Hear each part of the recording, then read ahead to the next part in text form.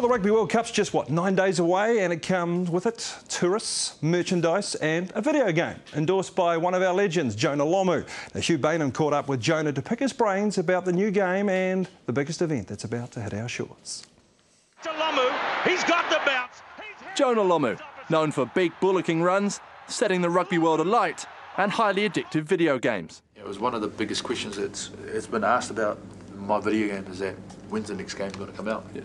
Well, here it is. All Blacks Rugby Challenge is the number one selling game over the last week in New Zealand, and although Jonah is on the game, he's not looking to relive the past. Yeah, I've done what I've needed to do in, in the All Black shirt, and now it's these guys, it's their turn, and it's uh, you know they're doing it at home and in front of their own home crowd, and uh, you know we'll be all there and supporting them and, and hoping for the best. The 63 Test All Black was heavily involved in the making of the game, and he insists it's perfect for the rugby player who never quite made it. It's the closest you're going to get to to a, to a real game. Uh, if you don't have the opportunity to pull on a jersey, you get the opportunity to put your dream team together and, and get out there and uh, muscle it up against each other. I'd never actually muscle up against Jonah. He is massive. So I took him on at the game, his beloved Counties Manukau, against my mighty Manawatu Turbos.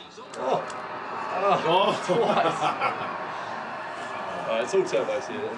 Oh, and he's in. Coonan's on fire.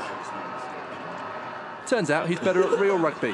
The Turbos picking up the 14-0 victory, but the game that matters, of course, will be the World Cup final. So your pick is?